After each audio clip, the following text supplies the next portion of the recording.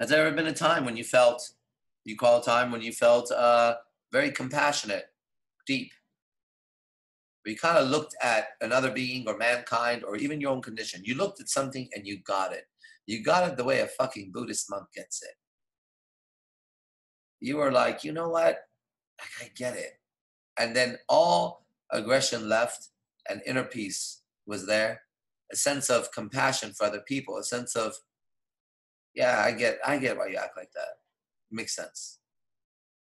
You know, in fact, you're probably not even doing too bad compared to what you should be doing, considering, right? Sense of compassion, sense of openness, depth.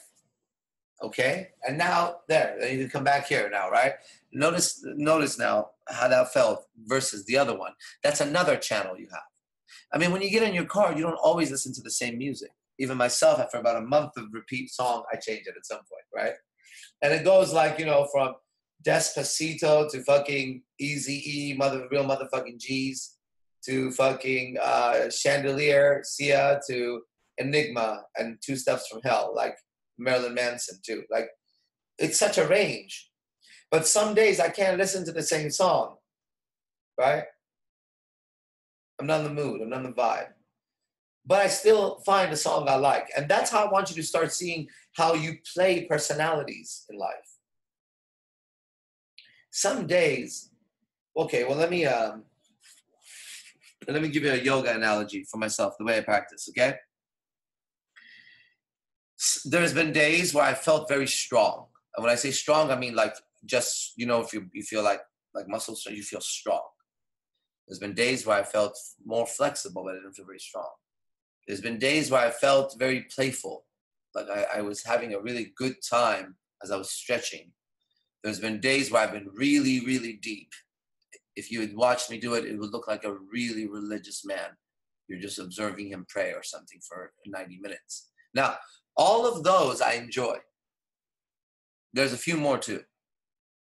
But the way I do it now is I show up to class, and this what I have now is a better process than I had. I'm just reporting into you as mentorship. You get to hear what the hell happened in my head today. I go in there, and what I've been doing is just okay. I'm gonna start by just going what light in a way that it just my body begins to just feel like it's moving. I'm just gonna focus on the movement lightly, and just begin to breathe and feel. Let's just let's try not to do anything. Let's just do the move and see what the hell is happening right now. So I start doing that. At some point in one of the postures, what happens is some feeling amplifies. Now, it could be where I feel so strong.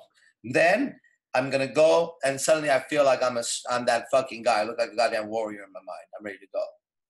Or sometimes I feel super uh, elastic, like like like a snake almost. So I become like a snake god. But I don't know what's there. What I do is I start the breathing and I do it in a way where I kind of just really focus on the feeling being good, relaxed, breathing, and I just keep staying really focused on my movement and breathing and whatever movement and breathing. And then something opens up and it has not failed yet in the last six, seven days or whatever. I don't know. I kind of lose track of time, but it's been days now. Okay. And so with with your seduction, with your sale, with your pickup, with your life facing the devils and gods, whatever, there's a way to do it. There's a sequence here where you begin just by engaging life without any kind of I'm going to do this, be this, or whatever. Just engage. Let's go. Let's see what's going on. How are you feeling? Right? What mask today fits properly, but is the right channel still? Like I named all the things that feel good. I have a lot of things that don't feel good. I'm not going to wear those masks. I'm doing yoga, searching for that good feeling. Right? I'm doing life searching for that good feeling.